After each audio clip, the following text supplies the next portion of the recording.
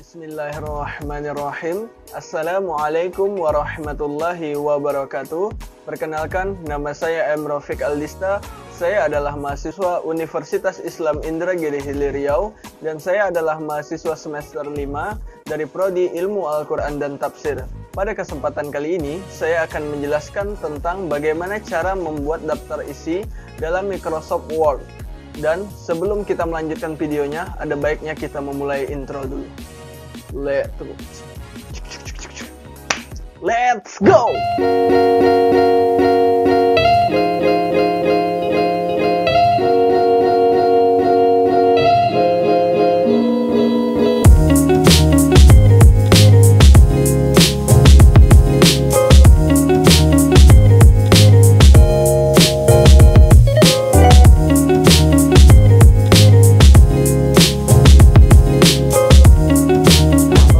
Kalau sudah, kita langsung saja memasuki Microsoft Word ya.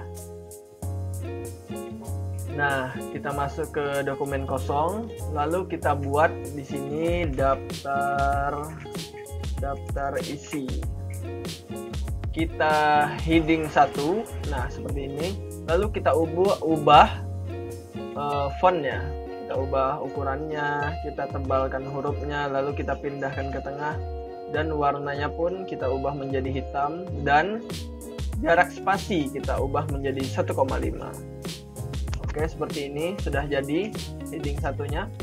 Lalu kita pindah ke kertas baru. Kita membuat kata pengantar. Kata pengantar. Oke lakukan hal yang sama. Buat heading satu lalu kita ubah hurufnya ketebalannya warna hurufnya. Lalu kita pindahkan ke tengah. Lalu ini kita buat menjadi heading satu juga tadi sudah. Terus tuh kita buat lagi kertas baru. Lalu kita buat bab satu.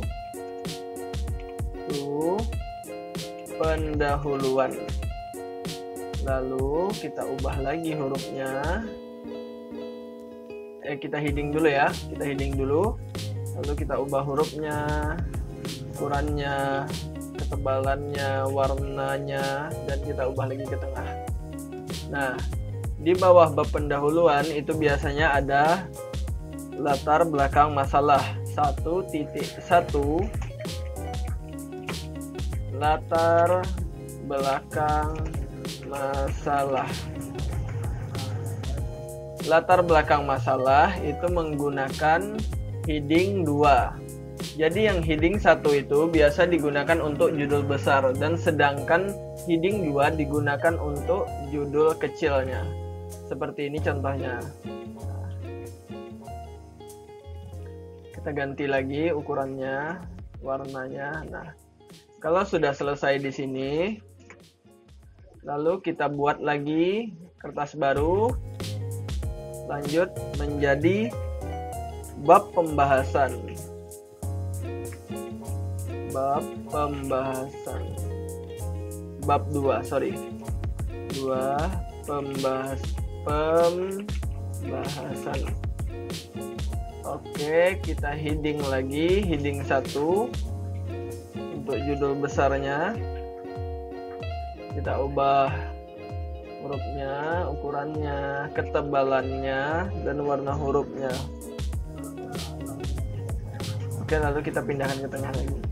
Udah kita kasih heading satu juga tadi. Lalu di bawah bab pembahasan itu ada dua titik satu. Misalnya eh,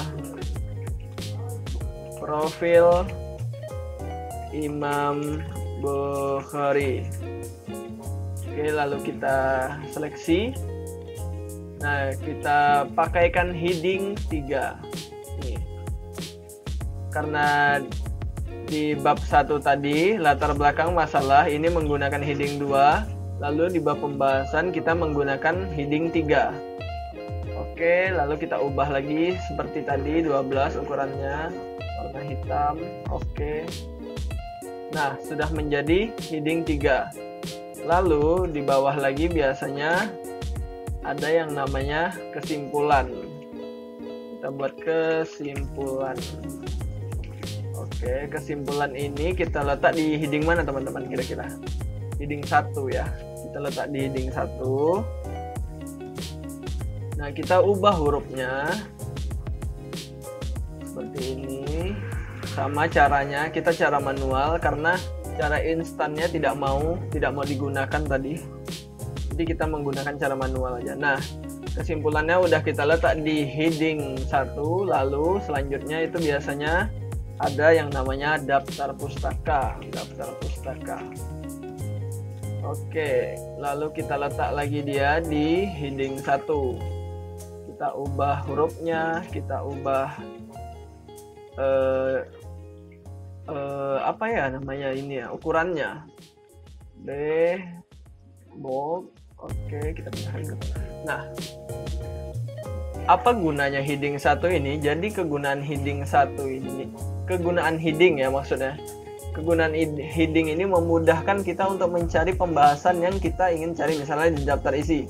Nah, langsung berpindah gitu. Jadi kita tidak usah nge-scroll nge-scroll lagi. Mungkin itu salah satu kemudahan dari menggunakan heading ya, teman-teman.